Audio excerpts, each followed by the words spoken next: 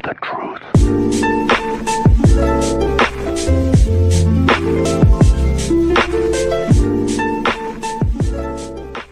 stop the clock and you're down 10, blah, blah, blah.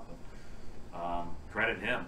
He made those shots. He stepped up, knocked them in, and, and um, you know, that decision was made harder by our inability to get a stop.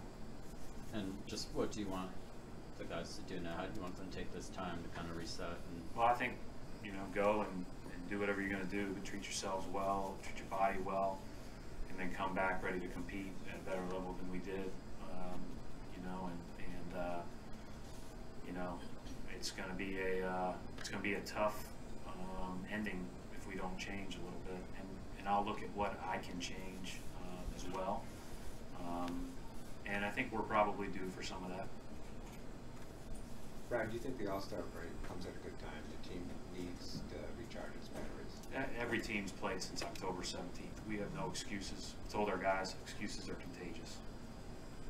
You know, that's, that's, I mean, everybody else has been playing too. You know, LA's been on the road for five days. Um, you know, at the end of the day, those are, excuses are contagious. Go play. Brad, you mentioned there's there'll be stuff that you'll look at to change. Is there, obviously without specifying too much, it's like certain areas you've been thinking about for a while, or is what kind of stuff would Yeah. you look at there? Yeah, I mean, we'll look at everything. We'll look at, um, you know, obviously you're always looking at small tweaks defensively and offensively, but we're just, we haven't gotten enough out of our rotations and subs and, and all those things.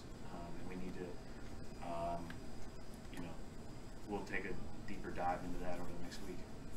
And then as far as you know, these last two games go, just matching up obviously is tough with Marcus Smart out. How much do you, and it's Shane out as well. Just how much do you you know blame or not blame, but just address that those some of the issues would be solved with them being back versus just what's going on defensively as a whole for you? Yeah, I think, yeah, I think it's, that's hoping rather than knowing.